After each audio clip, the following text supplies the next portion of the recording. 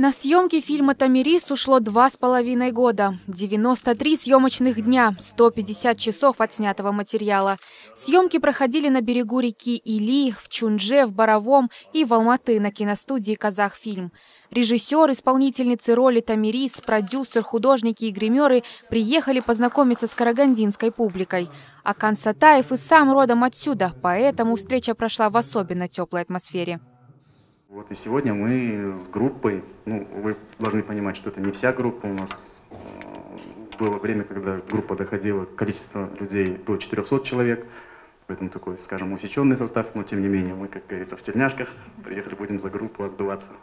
Вот поэтому еще раз, мне очень приятно здесь находиться, я думаю, что и моим коллегам, э, нашей группе тоже будет очень приятно сегодня э, представить карагандинской аудитории наше, наше кино. Мы очень старались, сделать хорошее, качественное, смотрибельное кино, которое, в общем-то, понравится, наверное, любому зрителю в любой точке мира. Мы очень на это надеемся.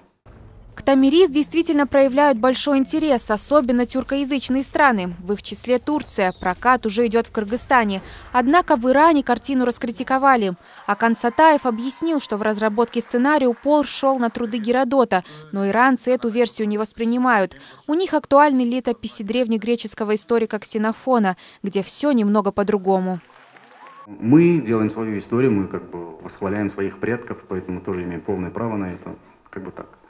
Что касается критики, конечно, мы готовы, конструктивный э, такой вот, ну, грамотный, к здоровой критике мы всегда открыты и готовы.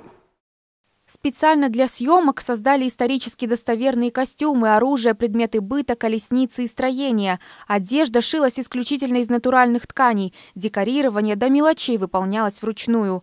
Актеры делятся, что на примерках наряды казались слишком неудобными и тяжелыми, но для степных условий подошли идеально.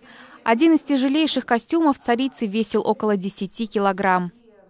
Что касается главных уборов, да, они были действительно некоторые тяжелые, э, но все довольно преодолимо, терпимо.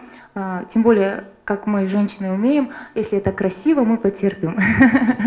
Поэтому э, ради красоты, ради того, что вы увидите на экране, это было честь и удовольствие терпеть какие-то неудобства.